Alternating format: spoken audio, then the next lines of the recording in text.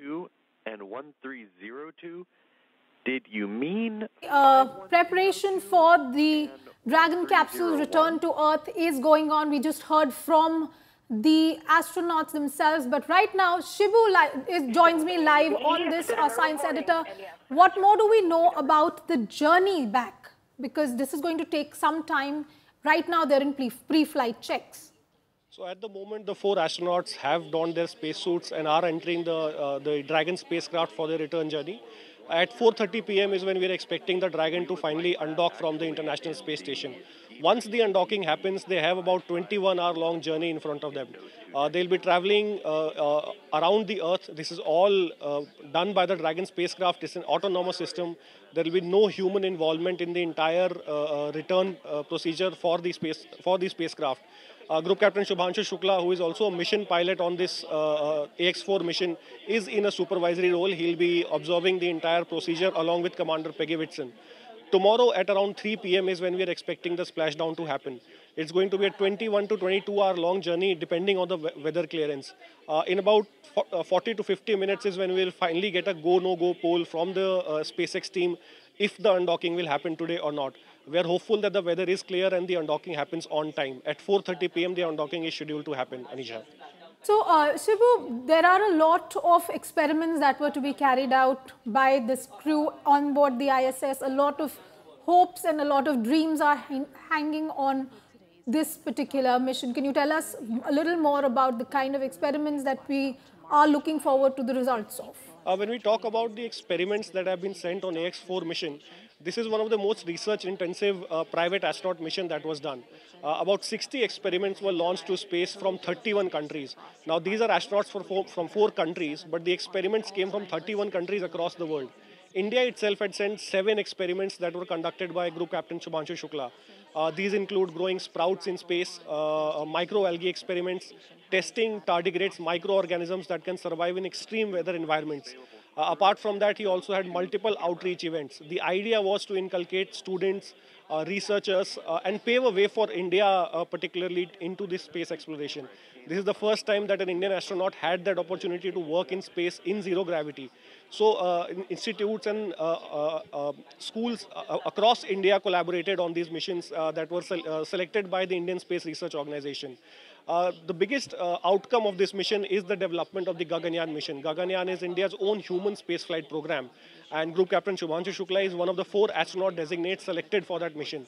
Uh, apart from the experiments, uh, one of the biggest learning is that the hands-on experience that he, he has got from uh, launch to undocking procedure today and eventually in splashdown tomorrow. all of this will then be inculcated and fed into the Gaganyaan mission, which is expected to launch in 2027. India had spent close to 500 crore rupees in this entire mission. Now, it was not just for Group Captain Shubhanshu Shukla, it was also for Group Captain P. Balakrishnan Nair. So, two astronauts have been trained for this entire mission, and all the hands on experience that they will be getting will eventually feed into the Gaganyaan mission to develop it and to boost it further. Anisha. Well, uh, Shibu, the question really is whether they'll be able to undock and splash down to Earth safely and on time as the schedule is at present.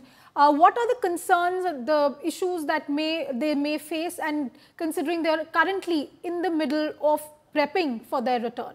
Uh, Anisha, once they sit down in the Dragon spacecraft, uh, they have donned their uh, spacesuits. The biggest concern always is weather parameters when it comes to splashing down and return journey. Uh, since this entire uh, uh, this Dragon spacecraft is autonomous, uh, there is no human intervention into it. So when it comes to the technicalities of it, there is no problem. The only concern remains is the weather parameters in the splashdown area, uh, where there be eventually uh, landing. So in some time we'll get to we'll get a no go no go poll from SpaceX. We are hoping it's going to be a go and there's going to be a green signal for that undocking to happen on time today.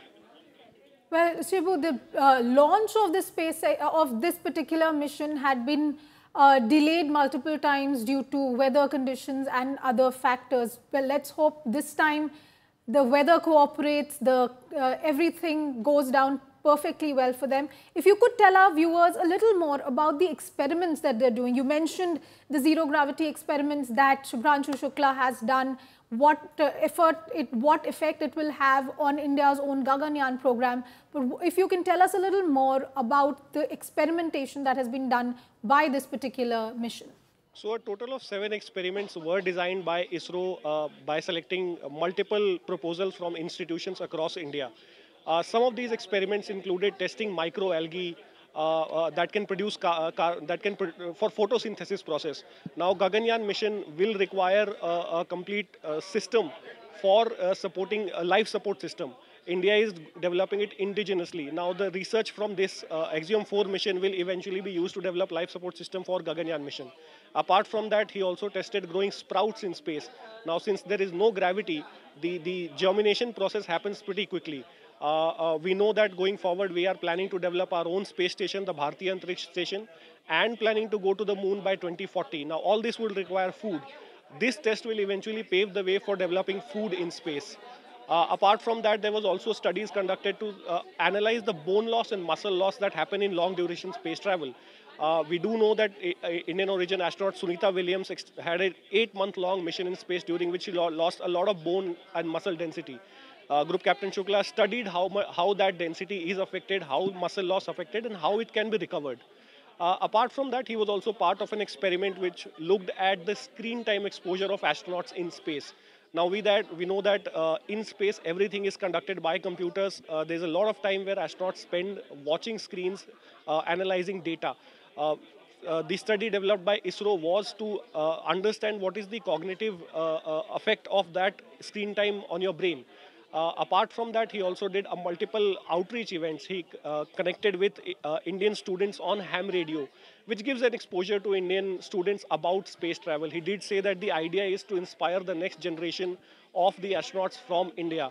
Uh, yesterday in the farewell ceremony, he, he got a bit emotional and he did say that our space journey has just begun when it comes to human space travel. Uh, going forward, it's going to be a long journey, it's going to be a difficult journey, but if we come together, uh, even stars are attainable.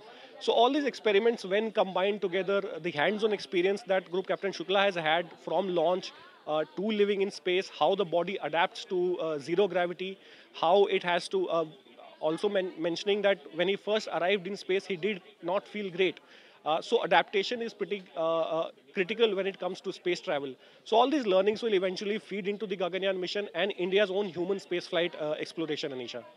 Well, uh, Shibu, we're looking at how these experiments, not just India's experiment, but as you said, there are multiple countries who sent, uh, who had sent up experiments for this particular mission. It is supposed to foster really a sustainable low Earth orbit, uh, how this entire system is going to go on.